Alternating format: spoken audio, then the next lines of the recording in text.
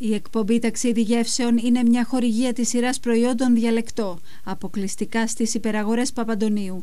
Υπεραγορές Παπαντονίου, πάντα δίπλα σας. Δημιουργήσαμε τη σειρά προϊόντων Διαλεκτό. Μια σειρά προϊόντων με διαλεκτή γεύση, διαλεκτή ποιότητα, διαλεκτή τιμή. Αποκλειστικά στις υπεραγορές Παπαντονίου. Διαλέγω Διαλεκτό. Η εκπομπή περιέχει τοποθέτηση προϊόντων.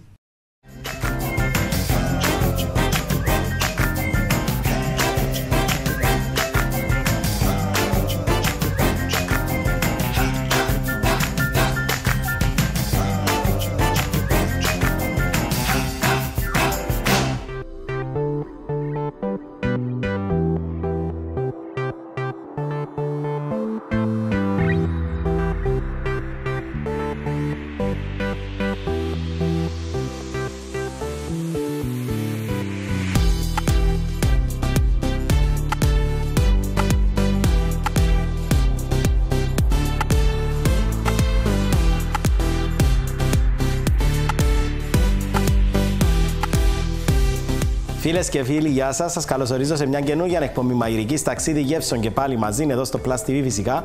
Σήμερα θα φτιάξω δύο συνταγές που τρελαίνομαι μόνο που το σκέφτομαι. Θα φτιάξουμε έναν τέλειο fish finger που θα είναι σε χυλό, θα κάνουμε δηλαδή ψάρι σε χυλό, τεμπούρα και θα σας δείξω τον τρόπο για να βγει έναν τέλειο τραγανό σκυλός, έτσι πολύ ωραίος, έτσι με την, να κάνει το κράτς κράτς, θα βάλουμε και λίγα αρωματικά, θα τον κάνουμε κίτρινο γιατί θα βάλουμε μέσα κουρκουμά, έτσι θα μας κάνει πολύ ωραίο το χυλό μας.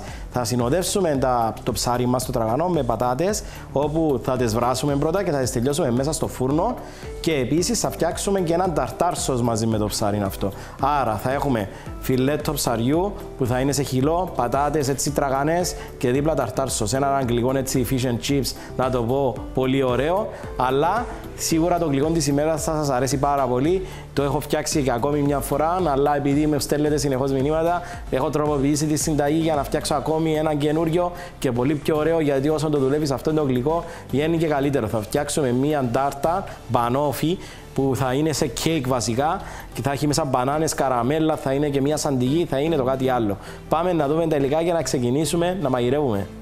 Fish and chips, υλικά για το ψάρι, 500 γραμμάρια μπακαλιάρο, κομμένο σε μακρόστενες φέτες, 50 γραμμάρια αλεύρι. Για το τηγάνισμα θα χρειαστούμε 1000 ml σπορέλαιο ή ηλιέλαιο ή ηλιανθέλαιο. Για το τεμπούρα θα χρειαστούμε 250 γραμμάρια αλεύρι φαρίνα, 100 γραμμάρια corn flour, μισό κουταλάκι του γλυκού baking powder, ένα τενεκεδάκι μπύρας μεγάλο, ένα κουταλάκι του γλυκού ρίγανη, δύο κουταλάκια του γλυκού κουρκουμά για τις πατάτες θα χρειαστούμε 200 γραμμάρια πατάτες με φύλλο. Για τη σος ταρτάρ θα χρειαστούμε 50 γραμμάρια ξιδάτη κάπαρη, 50 γραμμάρια αγκουράκι ντουρσί, 100 γραμμάρια φρέσκο κρεμμυδάκι ψιλοκομμένο, έναν αυγό βραστό, 200 γραμμάρια μαϊονέζα και λίγο ψιλοκομμένο μαϊτανό.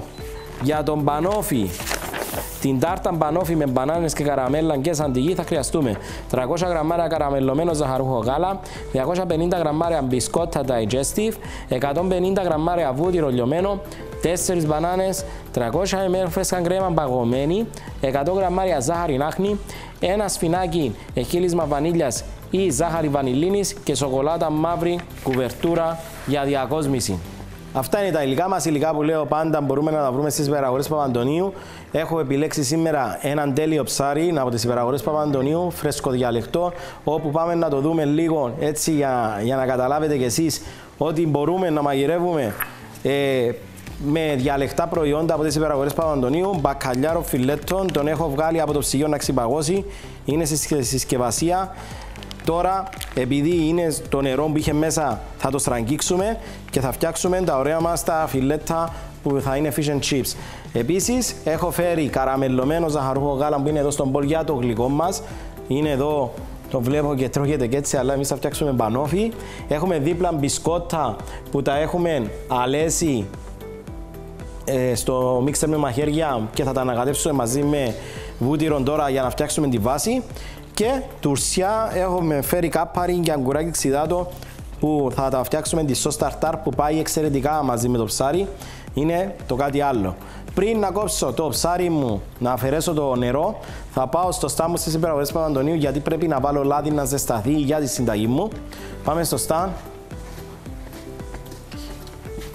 Θα πάρουμε το λάδι ηλιανθέλαιο από τις υπεραγορές Παπαντονίου και θα το βάλω σε μια κατσαρόλα με λάδι να ζεσταθεί, να είμαστε έτοιμοι για να τηγανίσουμε το ψάρι μας. Πάντα το βάζω σε μέτρια φωτιά εγώ.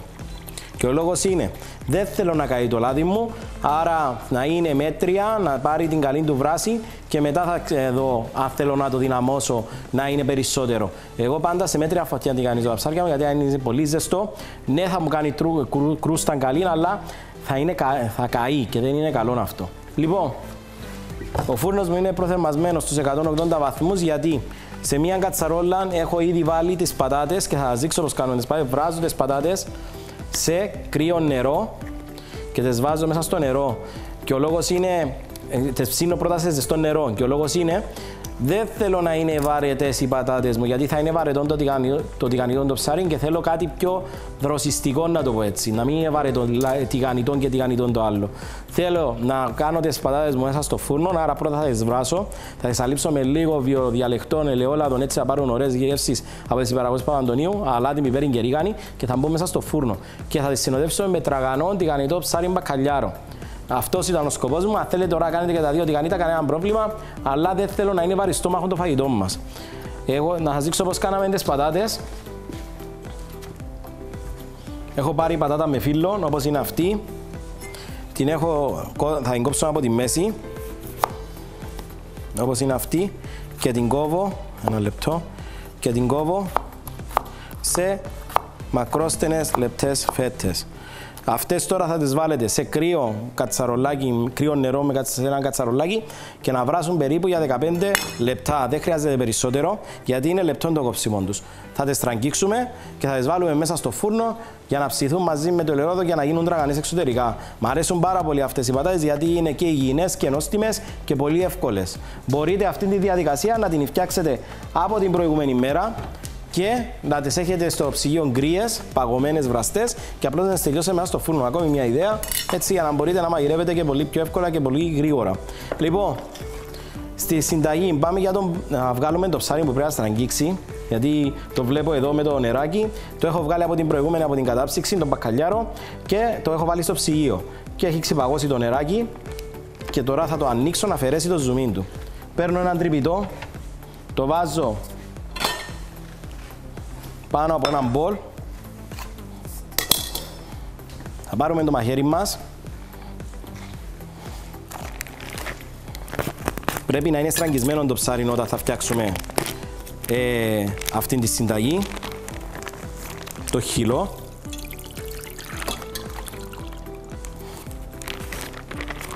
Αφαιρούμε τη συσκευασία και πολύ σημαντικό να το αφήσετε τουλάχιστον 10 λεπτά έτσι για να βγάλει το ζουμί του. Αν δείτε πόσο ζουμί έχει το ψάρι, είναι, καθώς είναι παγωμένο, είναι πολύ σημαντικό να έχετε υπόψη σας ότι όταν το ψάρι έχει ζουμί πρέπει να το αφήνετε να, στραγγέ, να, να στραγγίξει.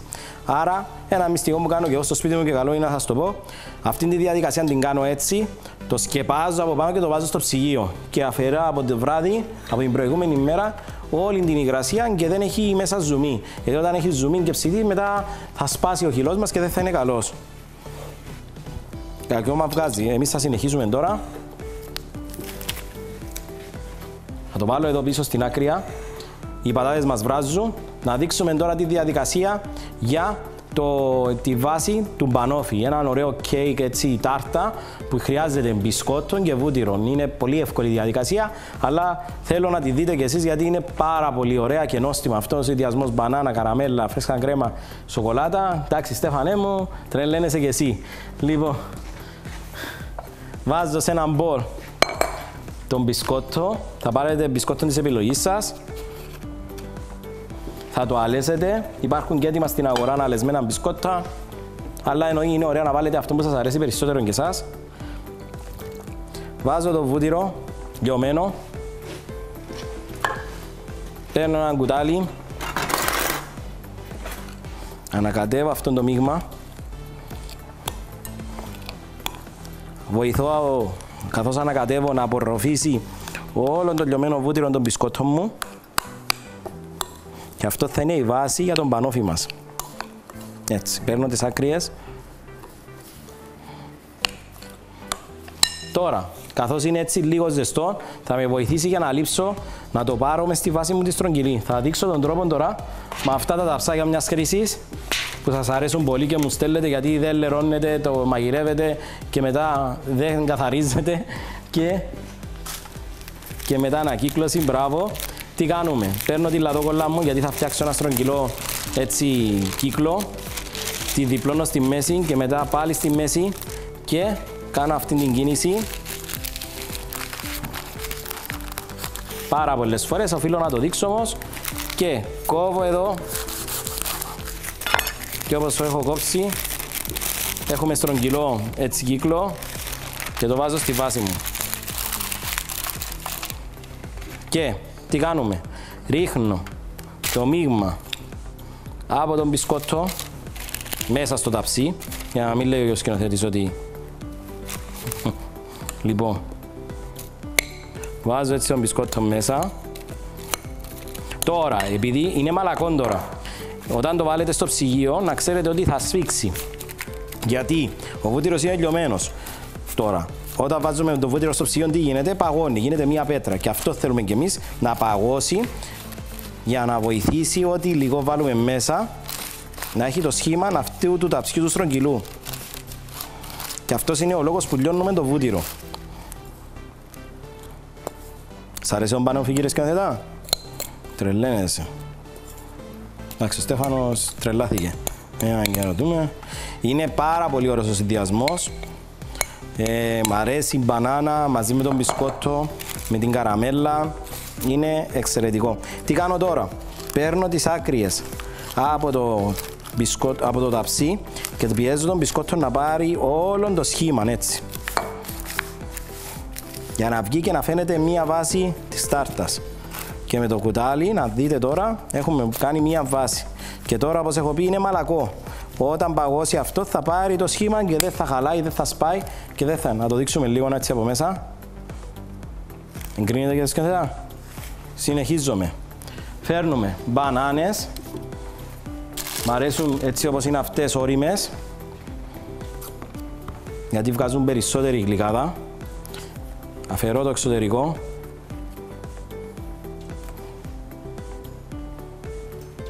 Θα βάλουμε εδώ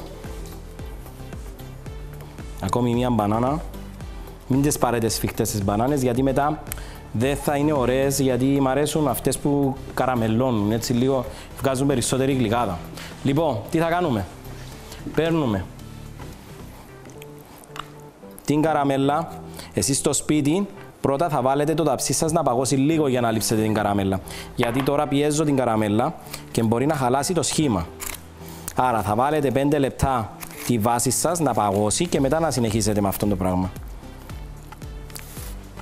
Λογικό κύριε σκηνοθέτα; Mm Λοιπόν, τώρα με ένα μικρό μαχαίρι κόβω έτσι τις μπανάνες μου μέσα.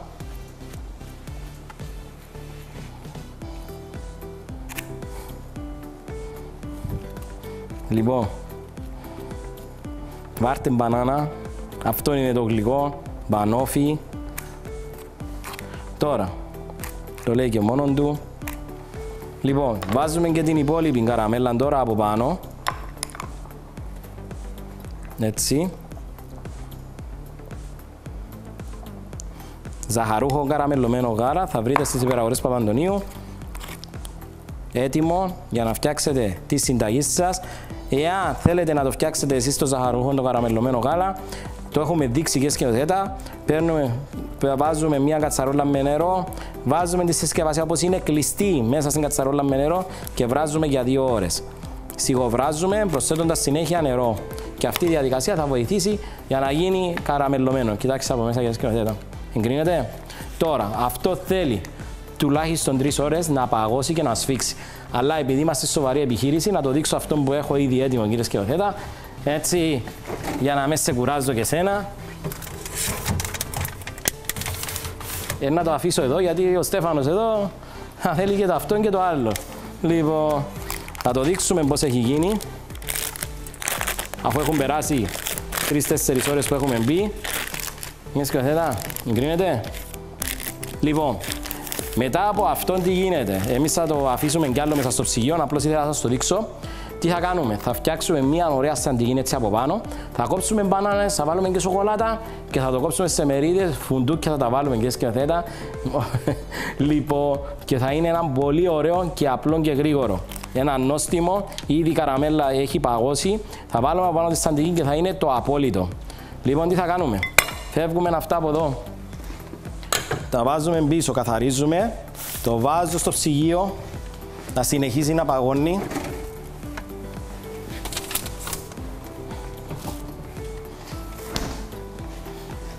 Άρα, μέχρι στιγμής και σκεφτείτε, έχουμε φτιάξει τη βάση της τάρτας για τον πανόφι. Έχουμε βάλει μέσα στην τάρτα το καραμελωμένο ζάχαρο γάλα. Έχουμε βάλει τις μπανάνες. Το έχουμε βάλει στο ψυγείο να παγώσει και μετά θα χτυπήσουμε στο μίξερ μας τη φρέσκα κρέμα που είναι στο ψυγείο πρέπει να είναι καλά παγωμένη μαζί με τη ζάχαρη νάχνη για να βάλουμε από πάνω. Αυτή η διαδικασία είναι ένα πανεύκολο γλυκό, γρήγορο και πολύ νόστιμο. Έχουμε βάλει το ψάρι μα σε τρυπητό να στραγγίξει. Έχουμε βάλει τις πατάτες μας μέσα σε νερό να ψηθούν καλά, όχι να λιώσουν, αλλά να είναι καλά. Και θα χρειαστούμε να, κάνουμε, να βρούμε έναν τρυπητό για να βάλουμε τις πατάτες μας. Ένα λεπτάκι να βρούμε το τρυπητό μας. Βρήκαμε το τρυπητό μας. Οι πατάτες μας είναι έτοιμες. Έχουν ψηθεί μέσα στο νερό. Και τι θα κάνουμε, θα βάλουμε το τρυπητό μέσα στη βρύση έτσι ώστε να αφαιρέσει την υγρασία, να αφαιρέσει το νερό και να μείνουν μόνο οι πατάτες. Εύκολη συνταγή για αυτή και σκηνοθέτα. Βραστές πατάτες. Και ρίχνουμε το νεράκι μας.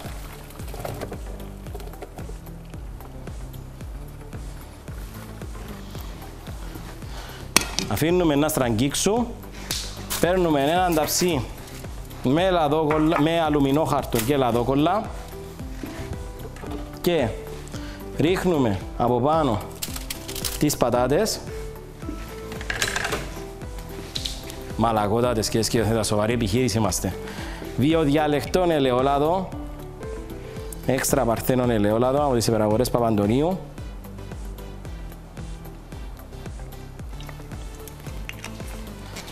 Φυσικό θαλασσινό αλάτι και ανάμειχτη κόκκι βιβεριό. Υπεραγορές Παπαντονίου, διαλεκτό. Βάζουμε γεύση. Ανάμειχτη κόκκι βιβεριό. Και φυσικά θα βάλουμε και ρίγανη που μου αρέσει πάρα πολύ με τις πατάτες. Διαλεκτό, ρίγανη. Πατάτα χωρίς γεύση δεν είναι πατάτα, κύριε σκηνοθέτα. Άρα βάζουμε τη γεύση έτσι ώστε να γίνουν εξαιρετικές. Ανακατεύω τις πατάτες. Δεν με πειράζει αν σπάσουν και λίγο. Αυτό θέλω να τραβήξουν να είναι crush potatoes και τις βάζω μέσα στο φούρνο. Στους 200 βαθμούς έτσι αέρα να κοκκινήσουν καλά. Χρειάζονται περίπου 15 με 20 λεπτά και οι πατάτες μας θα είναι έτοιμες. Εάν θέλετε να σας αφήσετε περισσότερο, κανένα πρόβλημα, απλώς να προσέχετε λίγο γιατί ξέρω ότι σας αρέσουν περισσότερο να είναι και τραγανές. Άρα όσοι ώρα τις αφήσετε μέσα, τόσο πιο τραγανές θα γίνουν. Πάμε να φτιάξουμε το χυλό για το ψάρι μας. Παίρνω ένα μπολ, θα πάω στο στάμ της υπεραγορές Παπαντονίου να πάρω το καλύτερο αλεύρι για να φτιάξω το χυλό αυτό διαλεκτό, φαρίνα, αλεύρι 0-0. Θα βάλουμε έναν προς τρία. Τι εννοώ έναν προς τρία; Θα βάλουμε δηλαδή ε, τρία ποτήρια αλεύρι, ένα ποτήρι αραβοσιτάλευρο. Το αραβοσιτάλευρο θα με βοηθήσει για να μου το κάνει τραγανό. Βάζω το αλεύρι μου. Βάζω το αραβοσιτάλευρο. Θα βάλουμε κουρκουμά. Να μας κάνει... Εμένα μου αρέσει κύριε σκεφτέτα κουρκουμάς γιατί μου αλλάζει το χρώμα, μου το κάνει κίτρινο το χυλό και βγαίνει πολύ ωραίος. Και θα βάλω και baking powder, το baking powder για να βγει αφρατεμένο το, το χιλάρι.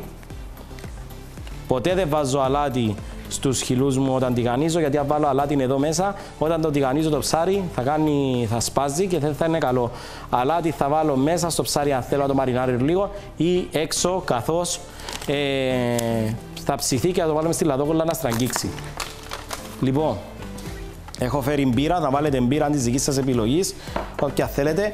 Ένα μυστικό που θα πω και είναι καλό να μην είναι παγωμένη μπύρα. Άρα, Στέφανε μου, γι' αυτό μαράζω πριν. Γιατί την είδε την πυρίτσα πριν και νόμιζε ότι θα πιούμε μπύρα. Είναι βραστή, δεν είναι παγωμένη. Έχω ανοίξει το τρενεκεδάκι και έχω βάλει να τη βάλω ακριβώς. Δεν το βγάλω από το ψυγείο εννοώ. Και ρίχνω μέσα. Θέλει να πιεις και θα ζεστή μπύρα; Κερνάω ζεστή μπύρα, αν ποιος θέλει. Λοιπόν, ανακατεύω και θα βάζω την μπύρα αναλόγως πόσο θα χρειαστεί. Πρέπει να είναι χυλός, ούτε ε, ζυμάρι, ούτε να είναι ρευστό. Βάζω λίγη λίγη και ανακατεύω. Αν χρειαστεί μπορούμε να βάλουμε κι άλλη. Και αν δεις το χιλάρι μας και σκεφτέτα, γι' αυτό σου λέγα πριν,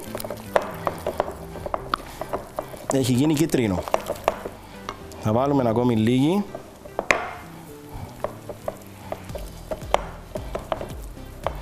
Μπορούμε να κάνουμε με αυτόν το χιλάρι και λαχανικά, τεμπούρα.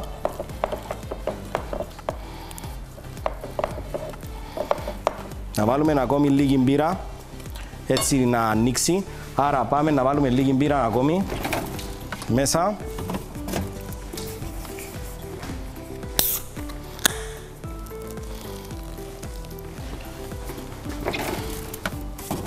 και συνεχίζουμε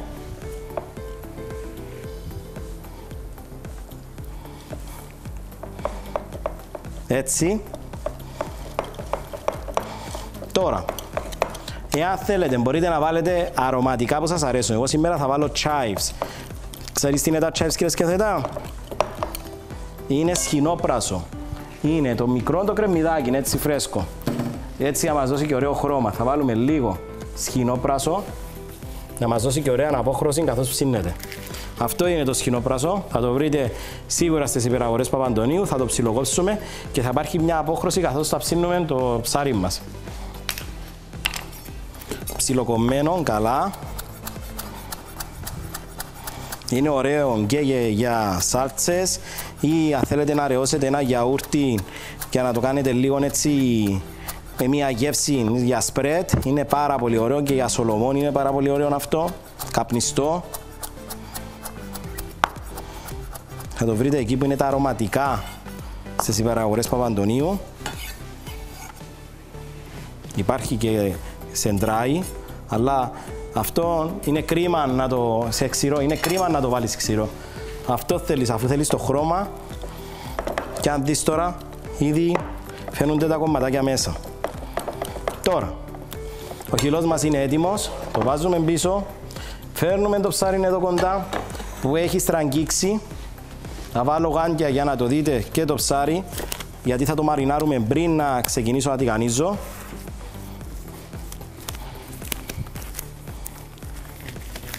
Πάντα να βάζουμε γάντια, να μην μεταφέρουμε τα μικρόβια.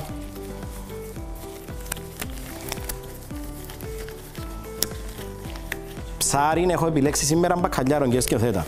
Εσείς αν θέλετε μπορείτε να βάλετε και σολομό για να φτιάξετε fish and chips με σολομό είναι πάρα πολύ ωραίο.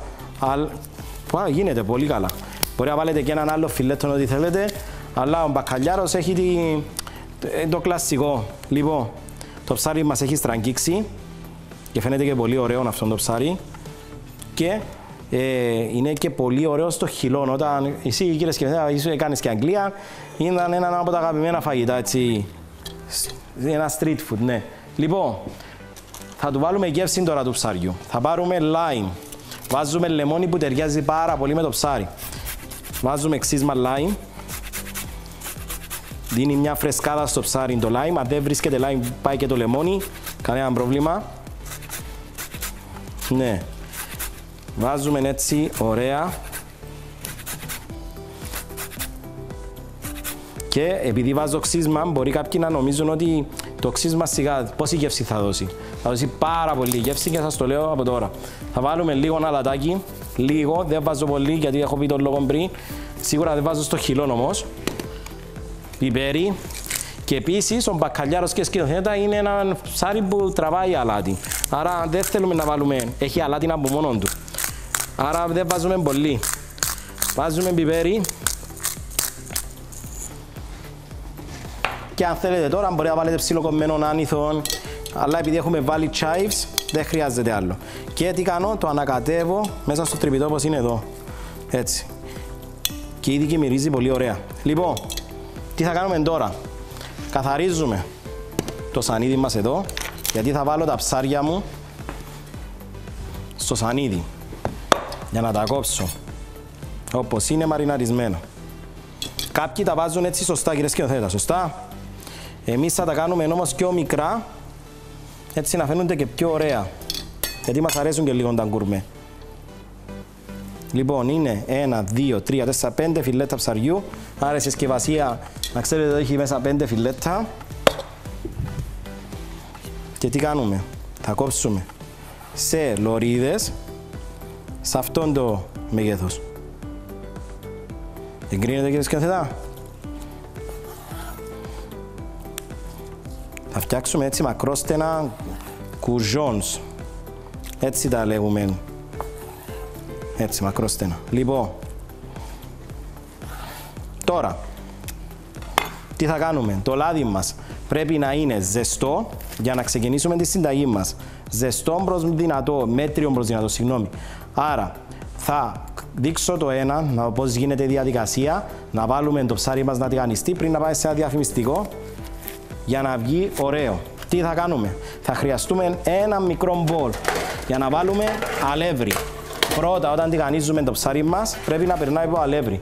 Ποιος είναι ο σκύρος και ο θέτα; Ο λόγος είναι ότι το ψάρι πρέπει να πάρει τα ζουμιά του, καθώς εδώ έχει ζουμιά, και μετά να μπει στο χιλάρι. Γιατί αν μπει απευθείας στο χιλάρι, θα σπάσει ο χυλός. Και κάποιες φορές που ψήνεται και δεν περνάει το από αλεύρι το ψάρι και μπαίνει απευθείας στο χυλό, ε, φεύγει ο χυλό από πάνω. Δεν σου έτυχε πολλές φορές να δεις ένα ψάρι με χυλό που ξεχωρίζει και φαίνεται. Αυτός είναι ο λόγος. Λοιπόν, και επειδή είμαστε λίγο πολύ σοβαρή επιχείρηση εδώ και τα λέμε όλα, οφείλω να τα πω και αυτά τα μικρά τα μυστικά. Είμαστε μια εκπομπή που είναι και μαγειρική, αλλά εκπαιδεύουμε και λίγο τον κόσμο να μάθει και μαγειρία στο σπίτι του ωραία, νόστιμα και καλά. Λοιπόν, πάω στο στάν της υπεραγορές Παπαντονίου να πάρω αλεύρι. Μπορείτε να βάλετε ό,τι αλεύρι θέλετε τώρα. Μπορείτε να βάλετε και το 0-0. Θα βάλω χωριάτικο τώρα εγώ. Δεν υπάρχει σημασία. Ναι, εμείς θέλουμε μόνο να καλύψει το ψάρι. Μπράβο, για να τραβήξει η υγρασία. Λοιπόν, το βάζω πίσω. Βάζω καινούργια, καινούργια γάντια.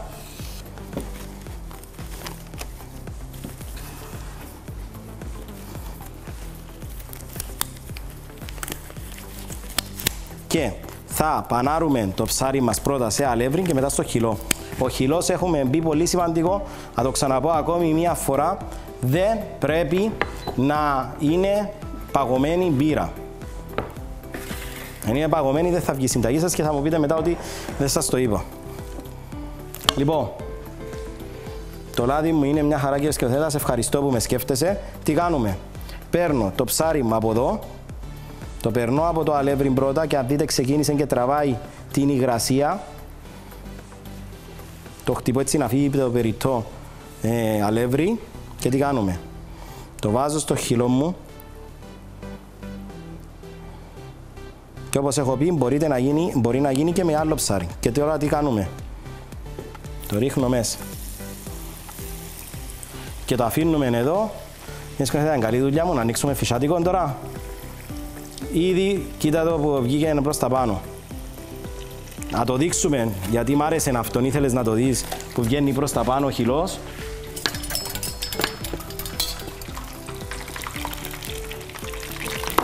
Ε, δεν είναι σημαντικό να βγει μόνο πάνω, σημαντικό είναι να βγει καλή κρούστα. Κοίταξε την κρούστα μας, μάνι μάνι, ε, μόλις το βάλαμε και κοίταξε πόσο έχει.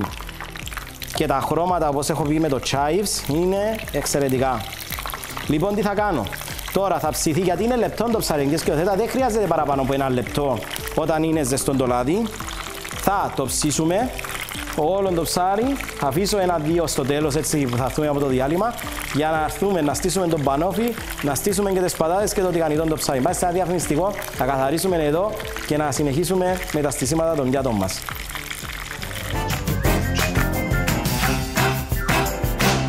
Η εκπομπή περιέχει τοποθέτηση προϊόντων.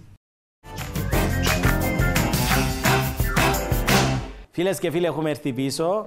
Εδώ το ψάρι είναι εξαιρετικό. Ειλικρινά, να το δούμε λίγο έτσι πώς είναι.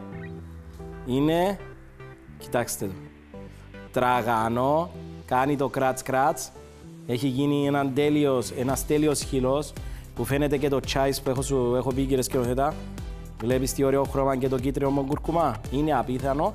Και όλο αυτό το ψάρι με μία συσκευασία μπακαλιάρο διαλεκτών από τις υπεραγορές Παπαντονίου. Άρα, τρώνε πόσα άτομα, κύριε σκηνοθέτα. Τέσσερα άτομα, άνετα. Από και περισσότερα.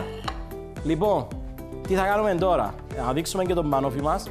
Το έχω βάλει στην ταρκέρα εδώ, στη βάση, που είναι ωραίο και από πάνω το πιάτο. Έχει παγώσει, είναι σκληρό, το βλέπετε. Η καραμέλα, η καραμέλα, η καραμέλα το ζαχαρογόκαρα καραμέλα μαζί με μπανάνα έχει σφίξει. Από πάνω θα βάλουμε σαντεγί τώρα που πάμε στο μίξερ μας με σύρμα. Βάζουμε μέσα την παγωμένη φρέσκα γκρέμα.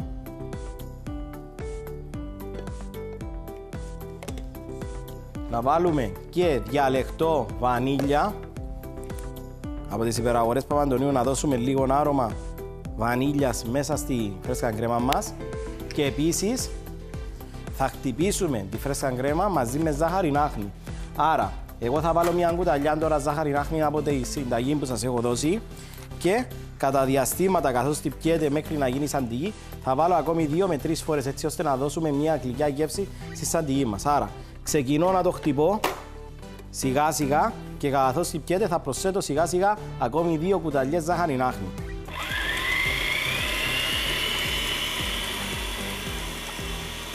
Αφού έχουμε χτυπήσει τη σαντιγή μας και έχουμε βάλει και τη ζάχαρη νάχνη, κοιτάξτε, πάρα πολύ ωραία, εξαιρετική. Θα διακοσμήσουμε τώρα τον πανόφι μας. Θα βάλουμε έτσι, θα πάρουμε ένα κουτάλι, δεν χρειάζεται να είναι μαρίζα. Και θα βάλουμε έτσι από πάνω. Αν θέλετε μπορείτε να βάλετε και σε σακούλα του κορνέ, αλλά δεν χρειάζεται, γιατί θα δείτε πώς θα το στήσουμε. Είναι εύκολο. Προσπαθώ να κάνω όσο πιο απλό μπανόφι μπορώ, με λίγα υλικά, για να μπορείτε να το φτιάχνετε και εσείς στο σπίτι. Φρέσκα κρέμα να βάλετε, όχι φυτική κρέμα, να έχει και γεύση. Έτσι από πάνω. Βάλω ακόμη λίγη και είμαστε μια χαρά. Και θα πάμε στις υπεραγορές Παπαντονίου για να, βάλουμε, να πάρουμε σοκολάτα, όπου θα βάλουμε από πάνω τριμμένη σοκολάτα. Διαλεκτό, σοκολάτα γάλακτος για γλυκά από τις υπεραγορές Παπαντονίου. Θα τρίψουμε τη σοκολάτα, θα πάρουμε λίγη. Στέφανε μου θα φας και εσύ, ναι. Είναι λάτρης ο Στέφανος της σοκολάτας. Και θα πάρουμε τον τρίφτη μας και θα τρίψουμε στο χοντρό τρίφτη έτσι λίγη σοκολάτα. Και σκεφτετά. Τι λέμε τώρα; Τραλαλά. Έτσι αγώ.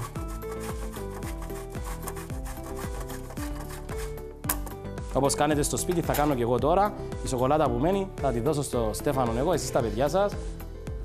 Bon appétit Στέφανε μου. Και τώρα θα καθαρίσουμε εδώ τον πάγκο μας γιατί σας έχω μεγάλες εκπλήξεις με το ψάρι. Θα φτιάξουμε έναν ωραίο ταρτάρ για να συνοδεύσουμε το ψάρι μας που είναι πολύ ωραίος ο συνδυασμός, εξαιρετικές γεύσεις μαζί με το ψάρι μας. Έχω βράσει δύο αυγά. Στη συνταγή σας λέω ένα, συγγνώμη, στη συνταγή σας λέω ένα, επειδή θα φτιάξω περισσότερο εδώ για τα παιδιά, ε, κάντε το κι εσείς. Γιατί θα σας αρέσει πολύ τώρα που σκέφτομαι πρέπει να γράψω δύο στη συνταγή. Κόβω τα αυγά μου σε μικρά κομματάκια. Έτσι.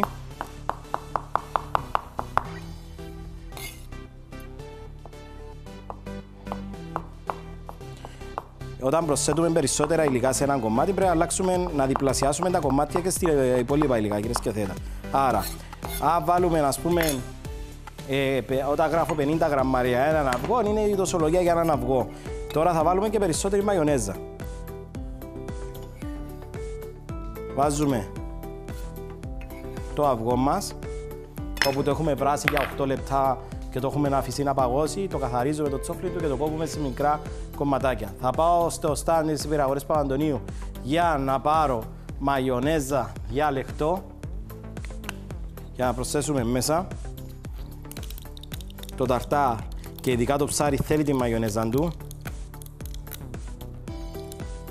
και θα συνεχίσουμε προσθέτοντας μέσα ψιλοκομμένο chives ή φρέσκο γκρεμμυδάκι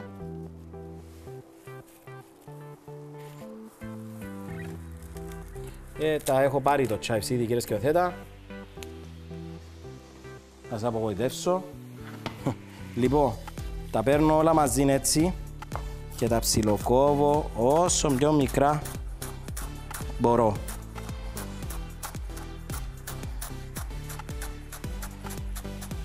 Θα δώσει και ωραίο χρώμα μέσα στον τυπάκι μας. Αλλά και το κρεμμυδάκι και ο μαϊτανός πάει πάρα πολύ με το ταρτάρ.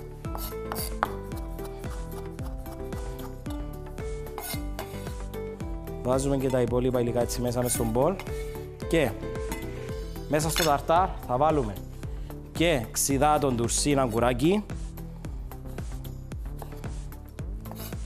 που θα δώσει την οξύτητα που πάει πάρα πολύ με το ψάρι. Στην Αγγλία, αν πείσουν κύριε σκηνοθέτα, τι θυμάσαι με το, με το ψάρι όταν έτρωες το, το fish and chips;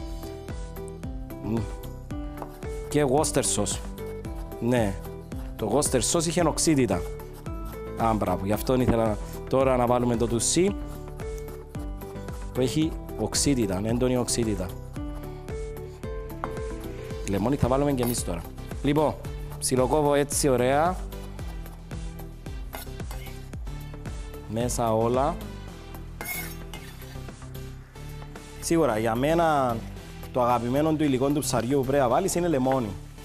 Οτιδήποτε άλλο δεν χρειάζεται, αλλά το λεμόνι είναι σημαντικό.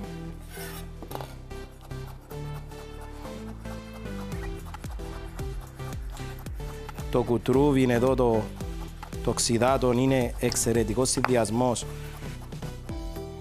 στο ψάρι και είναι μια σαλάτα αυτή βασικά κύριε Σκιωδέτα. Δεν είναι deep, είναι μια σαλάτα με διάφορα έτσι αρωματικά. Τώρα, όλα αυτά θα τα ανακατέψω έτσι καλά. Κοιτάξτε τα χρώματα τώρα που αναμειγνύονται μαζί με τη μαγιονέζα. Φανταστείτε να τρώτε το ψάρι σας με αυτόν το ωραίο τον τυπάκι. Είναι εξαιρετικό. Τι θα κάνουμε; Παίρνω ένα ξύλο και στο έναν τον μπολάκι θα βάλω από αυτόν το ωραίο δεν πρέπει να είναι πολύ μαγιονέζα, να υπάρχουν και τα άλλα τα υλικά μέσα. Δεν πρέπει να είναι μόνο μαγιονέζα, πρέπει η μαγιονέζα να είναι το ίδιο σε ποσότητα μαζί με τα άλλα υλικά. Να το εδώ και θα πάρουμε και λεμόνια να βάλουμε συνοδευτικά σε ένα μπολάκι και λάιμ αν θέλετε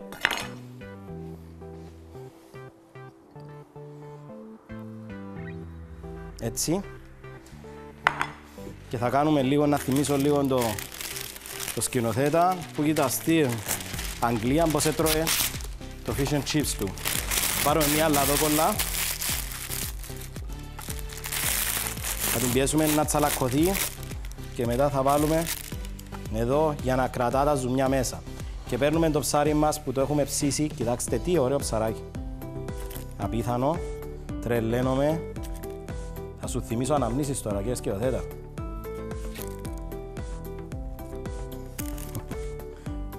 Και το μυστικό που έχω πει, αν δεις, το χυλός δεν έχει σπάσει, δεν έχει ξεχωρίσει το ψάρι. Γιατί πρώτα, το ένα μυστικό είναι ότι η πύρα δεν πρέπει να είναι παγωμένη και το άλλο μυστικό είναι ότι πρέπει πρώτα το ψάρι να στραγγίξει και να μπει σε αλεύρι και μετά στο χείλο.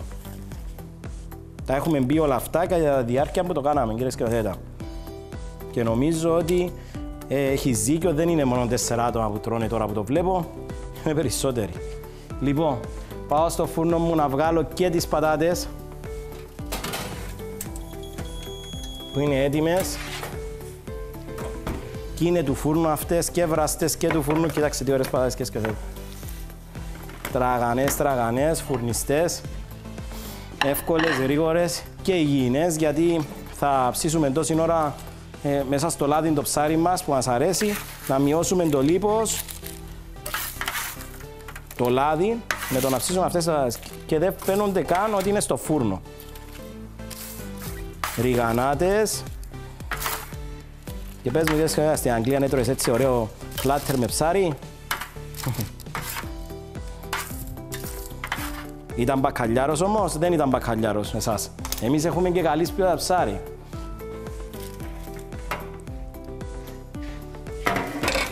Λοιπόν, το πλάτερ μας είναι έτοιμο.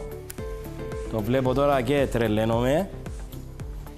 Δεν χρειάζεται τίποτα άλλο να κάνω νομίζω κύριε Σκιαθέτα. Είναι ένα εξαιρετικό πιάτο, κυριακάτικο, εύκολο. Δεν θέλω να σας ανησυχεί η δυσκολία. Πατάτες βραστές θα τις βάλετε μέσα, όταν τις βράσετε μέσα στο φούρνο σε ψηλή θερμοκρασία να ροδίσουν για 30 λεπτά μέχρι να ροδίσουν οι πατάτες σας. Θα ξεκινήσετε το ψάρι σας να βάλετε ένα τρυπητό, να φύγουν τα ζουμιά, να το αρωματίσετε, να βάλετε ξύσμα λάιμ, τα αλάτι λίγο και πιπέρι. Έτσι ωραία θα φτιάξετε το χυλό που είναι με την πύρα, με το κουρκουμά, το αραβοσιτάλευρο είναι μπροστρία μαζί με το αλεύρι που έχουμε μπει και το λόγο για να βγει έτσι ωραίο το χυλό. Θα περάσετε από αλεύρι το ψάρι σας και μετά στο χυλό θα το τηγανίσετε σε μέτρια φωτιά σε λιανθέλαιο και μετά θα το βάλετε σε, γλαδό, σε χαρτί κουζίνας να βγάλει τα λάδια του. Είναι ένα τέλειο φαγητό έτσι για να το έχετε, να το απολαύσετε, να φάτε ένα ωραίο ψάρι όπως το φρέσκο το διαλεκτό ψάρι μπακαλιάρος από τις παραγωγές του Αντωνίου που είναι απίθανο και μέσα στο χυλό έχω προσθέσει και chives έτσι ώστε να μου δώσει μια ωραία απόχρωση. Για τον πανόφι δεν έχω λόγια, είναι πανεύκολο, είναι εξαιρετικό. Έχουμε λιώσει το βούτυρο μαζί με χρηματισμένο μπισκότο, το έχουμε βάλει στο ταψί μας να πάρει τη, τη φόρμα του κέικ μας. Και έχουμε βάλει καραμελωμένο ζαχαρογό γάλα που θα το βρείτε σε του Αντωνίου μαζί με μπανάνες και από πάνω σαν τη φρέσκας κρέμας με ζάχαρη νάχνη και χείλισμα βανίλιας ή ζάχαρη βανιλίνης χτυπιέται και από πάνω τριμμένη σοκολάτα. Ένα απίθανο νόστιμο έτσι γλυκό που ταιριάζει απόλυτα για σήμερα για να το βλέπετε βραδιάτικα και να λέτε τι θα φάμε το Σαββατοκυριακό. Νόστιμες ιδέες από το ταξίδι γεύσεω, έτσι από τα παιδιά εδώ και να δοκιμάσω τώρα έτσι για να με βλέπετε. Λοιπόν, να κόψω ένα κομμάτι ψάρι για να δεις από μέσα και σκεφτείτε. Κοίταξε. Εγκρίνεται κύριε σκηνοθετά ζουμερό, δεν έχει λιώσει το ψάρι που ξέρεις στην Αγγλία όταν πάρει ψήθι λιώνει ή μισοψύρνουν το ψάρι, ενώ εδώ βλέπεις. Πάρα πολύ ωραίο. Ειλικρινά, πάρα, μα πάρα πολύ ωραίο. Μέχρι και το λάι. Θα δοκιμάσω και τον τυπάκι μου. Αυτό είναι πιο ωραίο από το άλλο. πάρα πολύ ωραίο, πατατούλες, τραγανές,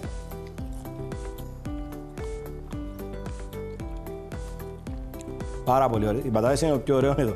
Τελικά, ό,τι δοκίμασα είναι καλύτερο από το άλλο. Λοιπόν, Στεφάνε μου, να δοκιμάσουμε και το γλυκό. Εντάξει, ο Στεφάνες μου εδώ τρελάθηκε. Λοιπόν, δοκιμάσω την άκρια για να βγάλουμε και φωτογραφία να την βάλουμε στα social media, στις συνταγές μου, ταξίδι γεύση, ο Food News CY των μπισκότων, η καραμέλα και η σαντιγή και η μπανάνα. Εντάξει. Απογείωση. Μου θυμίζει, ας σου πω και τη σνίκερ, η καραμέλα μέσα με τα φουντούκια. Μπορώ να βάλουμε από πάνω μου τη φουντούκια τώρα που το λες, που τα έχω εδώ και ξέχασα και είχε λόγο που τα βάλω αυτά. Λοιπόν, θα τα βάλουμε τώρα Έτσι. Για να μην λέει ο στενοθέτης ότι δεν τα βάλαμε. Αν και δεν τα γράφω στη συνταγή, ήταν έξτρα αυτά. Αλλά είναι ωραία για να φαίνονται και στο γλυκό μας. Λοιπόν, πάρα πολύ ωραίο, εξαιρετικό. Δύο φαγητά πανέμορφα και πολύ γευστικά. Να ευχαριστήσουμε την Infinity Property Cyprus για την υπέροχη κουζίνα που έχουμε εδώ στο Plus TV αυτή τη χρονιά. Να ευχαριστήσουμε την οικογένεια Παπαντονίου και τις υπεραγορές Παπαντονίου για τα υπέροχα φρεσκοδιαλεκτών, ποιοτικά, πάντα φρέσκα. Σε όλες τις υπεραγορές θέλουμε να πάτε να δείτε τα προϊόντα, να ψουμνήσετε από εκεί, να μου πείτε τα σχόλια σας. Απίστευτα. Βλέπουμε εδώ τι υπέροχα έτσι, ψάρια από τις υπεραγορές έχουμε πάρει. Ειλικρινά δεν έχω λόγια, απίθανο. Τα βλέπω τώρα, όταν τελειώσει η εκπομπή, ξέρετε τι θα γίνει εδώ, θα χαθούν. Ετοιμαζόμαστε για καινούργιες συνταγές. Να είστε έτοιμοι. Όλες τις συνταγές μου τις βρίσκουμε στο Σάβα Σάντεσκο, Σάβα Σάντεσκο Chef στο Instagram, στο Food News CY στο Facebook και στην προσωπική μου στο Food News CY. Επίσης μπορείτε να βλέπετε όλες τις εκπομπές μέσα στο YouTube channel, να γράψετε ταξίδι γεύση στο Food News CY και να κάνετε γραφή και να παρακολουθήσετε όλες τις εκπομπές που έχουμε φτιάξει τα τέσσερα χρόνια. Σας ευχαριστώ. Να είστε έτοιμοι. Καινούργιες συνταγές έρχονται. Γεια σας.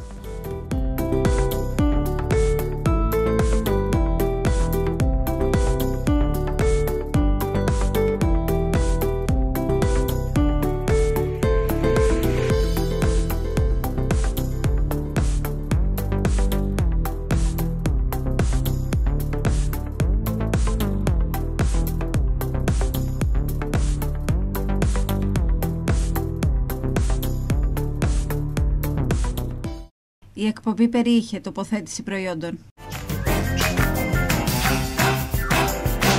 Η εκπομπή ταξιδικεύσεων ήταν μια χορηγία της σειράς προϊόντων διαλεκτό, αποκλειστικά στις υπεραγορές Παπαντονίου. Υπεραγορές Παπαντονίου, πάντα δίπλα σας. Δημιουργήσαμε τη σειρά προϊόντων Διαλεκτό. Μια σειρά προϊόντων με διαλεκτή γεύση, διαλεκτή ποιότητα, διαλεκτή τιμή. Αποκλειστικά στις υπεραγορές Παπαντονίου. Διαλέγω Διαλεκτό.